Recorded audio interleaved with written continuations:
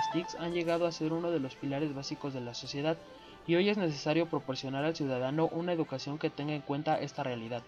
Las posibilidades educativas de las TICs han de ser consideradas en dos aspectos, su conocimiento y su uso. El primer aspecto es consecuencia directa a la cultura de la sociedad. No se puede entender el mundo de hoy sin un mínimo de cultura informática.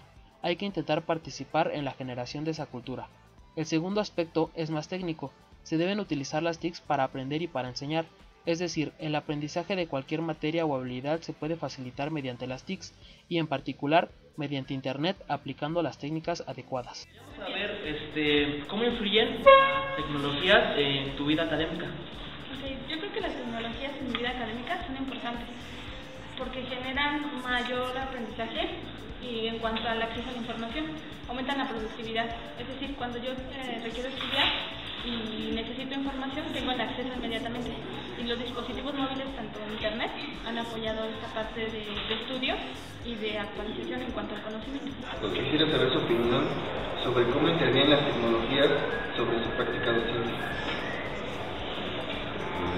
En esta actualidad de la era del conocimiento, la, hacer uso de las tecnologías es una herramienta de un porcentaje muy alto. Si un docente no se apoya en este tipo de herramientas, prácticamente estaría dejando de lado un poco más de la mitad de su propia práctica.